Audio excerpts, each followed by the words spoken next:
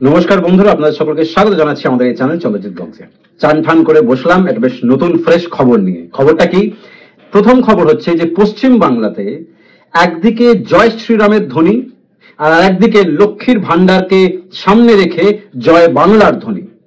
একদিকে জয় শ্রীরামের স্লোগান, তো একদিকে জয় বাংলা স্লোগান।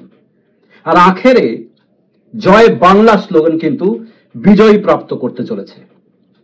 তার কারণটা হচ্ছে যে একটা দিক, একটা নেগেটিভ এটা বলা হচ্ছে যে নরেন্দ্র মোদীর সরকার বা কেন্দ্রের সরকার যতবার এখানে এসেছে, একটা ধর্মীয় অ্যাঙ্গেলেই কথা বলেছে।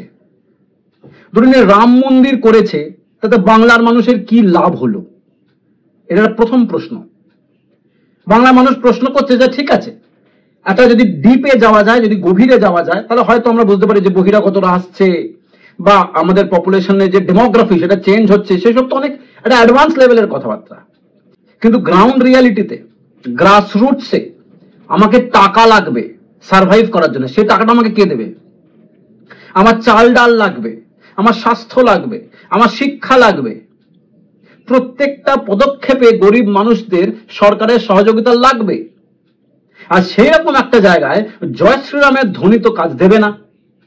অন্যদিকে লক্ষ্মীর ভান্ডার জয় বাংলা স্লোগানের আন্ডারে লক্ষ্মীর ভান্ডার কিন্তু বছরে বছরে বারো হাজার টাকা করে দিচ্ছে মানে মাস গেলে হাজার টাকা দিচ্ছে সরকার। তো যে গরিব মায়েরা, বোনেরা, যাদেরকে সরকার হাজার টাকা করে দেবে, সেটা তাদের জন্য একটা বিশাল বড় অ্যামাউন্ট তাদের একটাই প্রশ্ন, যে চুরি তো সবাই করছে।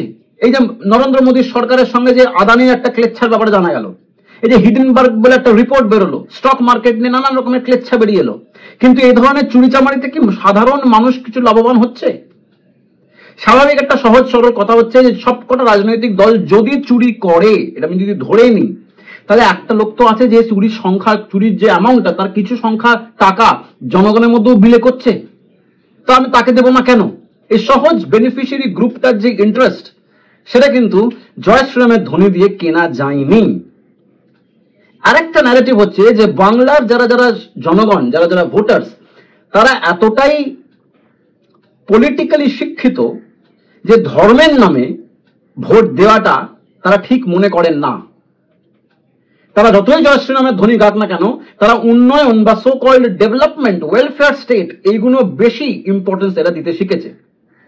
কম্পেয়ার টু উত্তরপ্রদেশ, উত্তরপ্রদেশে কিন্তু এখনও জয় শ্রীরাম ধর্ম জাতি, এইগুলো এখনও একটা ইম্পর্টেন্ট ক্রাইটেরিয়া ইলেকশনে বাংলায় কিন্তু তা নয়। তার কারণ বাংলার ভোটাররা অনেক বেশি অ্যাডভান্সড পলিটিক্যালি অনেক বেশি সাউন্ড এটাও একটা নেগেটিভ অন্যদিকে, দেখুন, এই যে সাংঘাতিক ইলেকশনের আগে যে সত্তর, পঁচাত্তর দিন ধরে মারমার কাটকাট ব্যাপার, বোলপুর, বীরভূম, এই যে অনুব্রত জেলে, যে অনুব্রত জেলে গুড় বাতাসা পাওয়া গেল না, প্রচুর লোকেদের একটা চিন্তা হলো যে শতাব্দী জিতবে তো।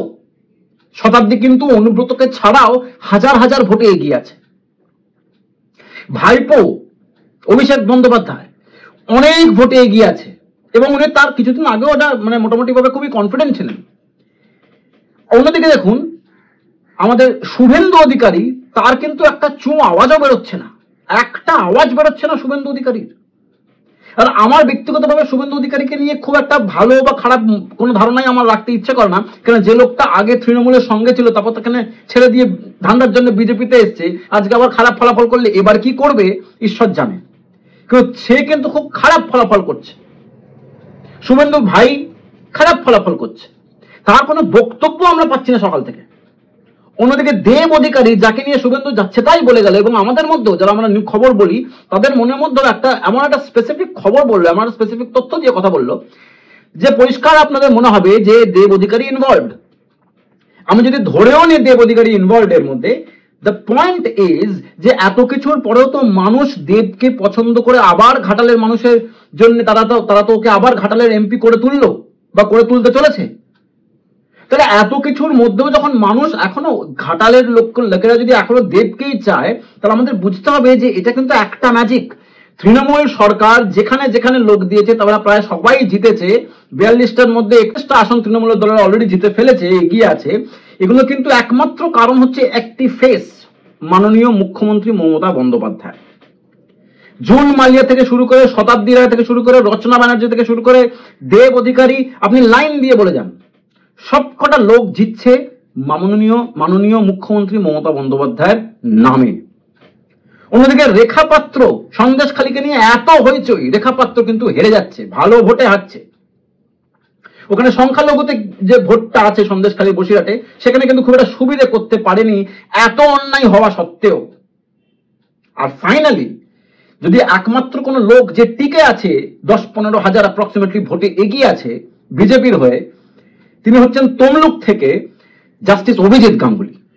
তিনি কিন্তু এখনও এগারো, বারো, পনেরো হাজার ভোটে এখনও এগিয়ে আছেন। এইটা একটা বিজেপির পক্ষে ভালো খবর। এখন দেখা যাক যে ফাইনাল যে আউটকামটা বেরোতে চলেছে, সেখানে তৃণমূল কতটা এগিয়ে থাকছে। কারণ সরকার ওরা করছে এই বিষয়ে আর কোনো সন্দেহ নেই। কালীঘাটে সবুজের আবির খেলা শুরু হয়ে গেছে। এখন শুধু সময়ের অপেক্ষা, বন্ধুরা। আপনাদের মতামত অবশ্যই ভাবে কমেন্ট সেকশনে জানাবেন। দেখা হচ্ছে একটা নতুন ভিডিওটা একটা অন্য ইস্যু সঙ্গে থাকুন। আর যদি নতুন দেখতে থাকেন, তাহলে চ্যানেলটাকে লাইক শেয়ার এবং সাবস্ক্রাইব করতে কিন্তু ভুলবেন না। নমস্কার।